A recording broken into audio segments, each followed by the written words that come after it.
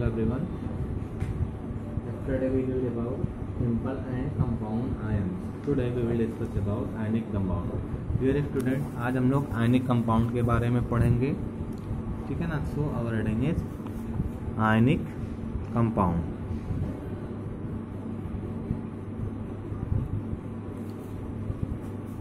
अब देखिए बात करते हैं कि आयनिक कंपाउंड होता क्या है। तो आयनिक कंपाउंड ऐसे कंपाउंड्स होते हैं। जो किससे बने होते हैं?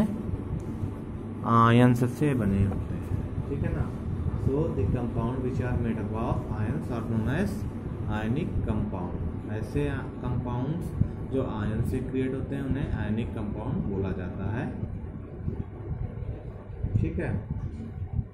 अब देखिए, कोई भी आपका आयनिक कंपाउंड हो, ठीक है?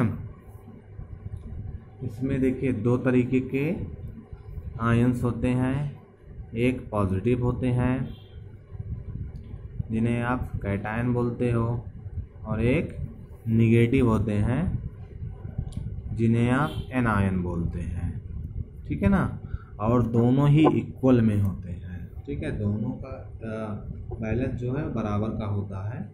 ठीक है ना? So in anionic compound positively charge ion anion and नहीं नहीं पॉजिटिव चार्ज जो आपके कैटायन होंगे, ठीक है? पॉजिटिव चार्ज कैटायन है and negative charge anions are held together by the strong electric force of attraction ठीक है ना? देखिए, जो इनके चार्ज है इक्वल प्लस और माइनस वाले दोनों के कारण क्या बनता है? स्ट्रॉन्ग एट्रैक्शन फोर्स लगता है। ठीक है, ये अट्रैक्शन फोर्स कैसे होते हैं? इलेक्ट्रोस्टैटिक फोर्स होते हैं।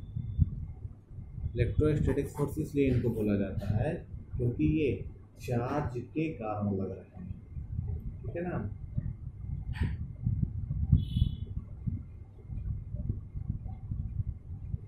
अब जैसे हम बात कर लें एग्ज़ाम्पल में, चलिए हमने एग्ज़ाम्पल ले लिया है सोडियम क्लोराइड इसका फार्मूला क्या होता है? एन ए सी एल ठीक है, ये आपका सोडियम क्लोराइड है। अब सोडियम क्लोराइड की अगर हम बात करें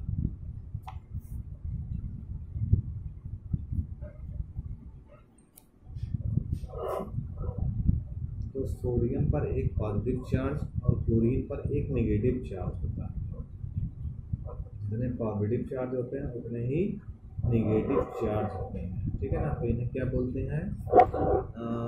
और देखिए, ये क्या है? आयन से क्रिएट हुए हैं तो ये आपके आयनिक कंपाउंड हो जाते हैं। ठीक है ना? तो आप कह सकते हैं sodium chloride NaCl is an ionic compound which is made up of equal number of positively charged sodium ion and negatively charged ion chloride.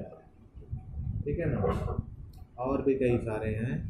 आप ले सकते हैं पोटेशियम नाइट्रेट ले सकते हैं के एन ओ थ्री ये कैसे बनता है? K plus and N O three negative से। पोटेशियम एंड नाइट्रेट से। M G C L two भी ले सकते हो। एम जी क्या होता है? इस पर डबल पॉजिटिव हो जाता है पी एल पर नेगेटिव हो जाता है। ठीक है ना?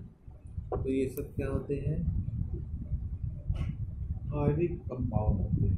क्यों आयनिक कंपाउंड होते हैं? क्योंकि ये आयन से ही क्रिएट होते हैं। अब देखिए हम लोग आयनिक कंपाउंड का फार्मूला मास देखते हैं। तो formula mass of ionic compound ठीक है ना? आयनिक कंपाउंड का फार्मूला मास क्या होगा? देखिए, कोई भी कंपाउंड हो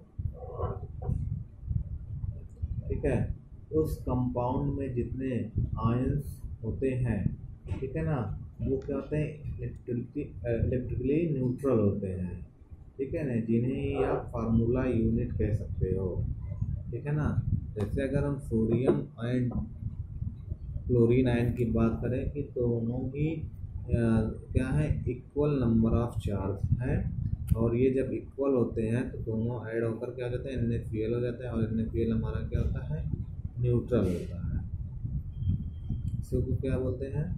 फार्मूला यूनिट बोलते हैं। So this simplest combination of ions that produces and electrically neutral unit is called formula unit ठीक है ना? ये फार्मूला यूनिट हो गया है। जैसे हम बात करें अमोनियम सल्फेट की।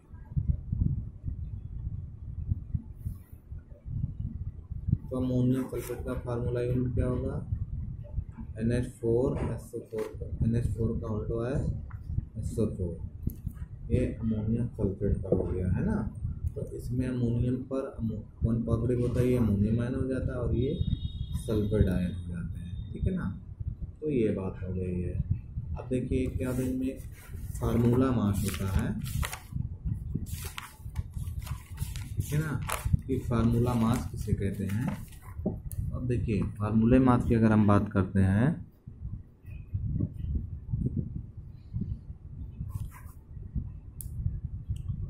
तो फार्मूला मास देखिए क्या होता है? किसी भी यानी कंपाउंड का जो फार्मूला मास होता है ये रिलेटिव मास होता है। और ये रिलेटिव मास किसका होगा? ये रिलेटिव मास होता है फार्मूला यूनिट का।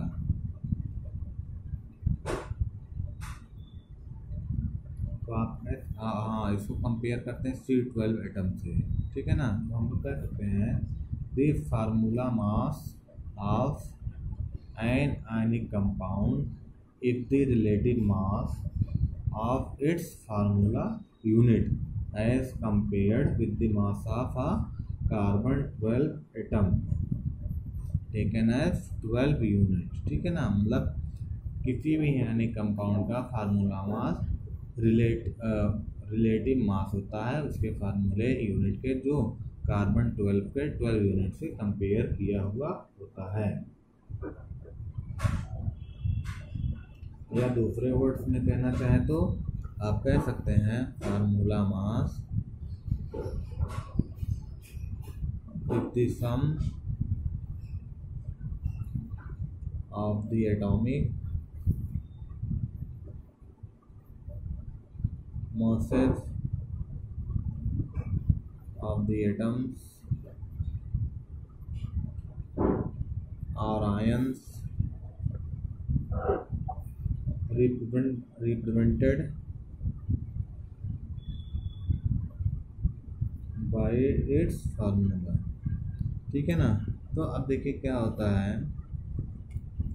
तो किसी भी आयनिक कंपाउंड का जो फार्मूला मास होता है, उसके एटॉमिक मास इसके सम के इक्वल होता है। ठीक है ना? तो बेटा ये आपका क्या हो गया? फार्मूला मास हो गया। तो अब आज के है। बाकी आपको नेक्स्ट वीडियो में बताया जाएगा। So thank you very much for watching this video